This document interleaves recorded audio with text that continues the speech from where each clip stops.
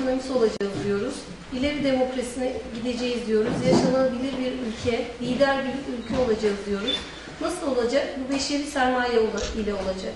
Beşeri sermaye insandır. İnsanı nasıl donatacağımızı eğitimle yapacağız. Hedeflerimizi özellikle ilk 5 yılda boşanmaların arttığı gerçeğine uygun olarak ailelerin kadını ile erkeği ile toplumun yanında olacak destek mekanizmalarını güçlendirme üzerine kurarak gerçekleştirmemiz gerekmektedir. Kadına yönelik şiddetle mücadelede sıfır tolerans hakikaten politikamızın ana ekseni olarak görüyoruz. Kadına yönelik şiddet yasasının içeriğine bakıldığında nasıl önleyeceksiniz, koruyacaksınız, koruyamadığınız ve önleyemediğiniz zaman hangi mekanizmaları hayata geçireceksiniz, bunu nasıl denetleyeceksiniz dendiği zaman işin içine anomotor olarak parti mekanizması giriyor. İçişleri Bakanlığı'yla, Emniyet Genel Müdürlüğü'yle, jandarmasıyla bu bir sorundur, gereği yapılmalıdır anlayışıyla hazırlanan kadına yönelik şiddet yasası bugün mecliste son görüşmeleri bitiyor. Ayrıca eşi vefat etmiş, sosyal güvencesi olmayan bayanlara maaş bağlanıyor.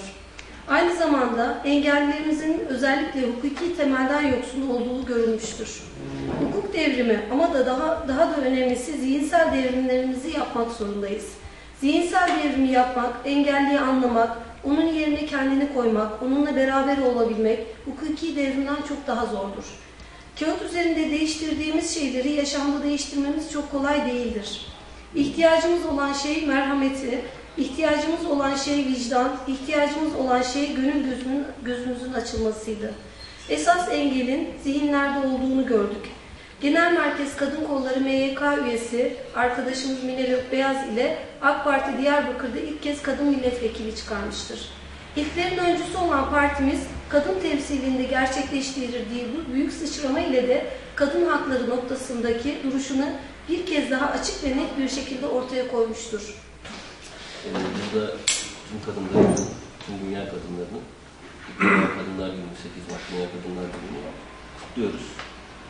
Biz esas itibariyle simgesel anlamda elbette bu günlerin öneminin farkında olmakla birlikte ama yıl boyu zaten 365 günün tamamı, tamamında kadınlarımızı unutmayan bir zihniyetle hareket ediyoruz parti olarak ve temsil ettiğimiz anlayış olarak. Öncelikle şunu ifade etmemiz gerekir ki hakikaten kadın demek medeniyet demektir. Eğer bir toplumda kadına değer veriliyor ve kadınla birlikte hareket ediliyorsa o toplum çok kısa sürede kendisini tüm dünyada ifade edebilecek ve kabul ettirebilecek bir konuma hızla gelecek anlamındadır. Geçmişimize baktığımızda bizim kurduğumuz medeniyetler içerisinde kadın her daim önde bulunmuştur. Belki esas itibariyle görüntüye çok fazla çıkarılmamakla birlikte mutfak kısmında ve toplumun şekillenişinde çok büyük önem arz etmiştir. Mesela Osmanlı'ya baktığımızda Osmanlı'nın üç ana kurucu yapısı var. Bunlar biliyorsunuz Gaziyani Rum, Ahiyani Rum ve Baciyani Rum olarak ifade edilen yapılanmalardır. Gaziyani Rum devlet yönetimini ve askeriyeyi, Ahiyani Rum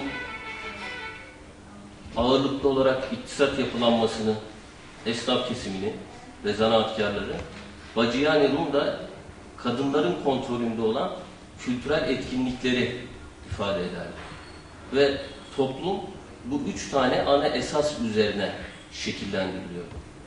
Burada kadının önemini fark edin. Yani kadın için o dönemde de çok önemli bir görev kendisine yüklenmiş durumda.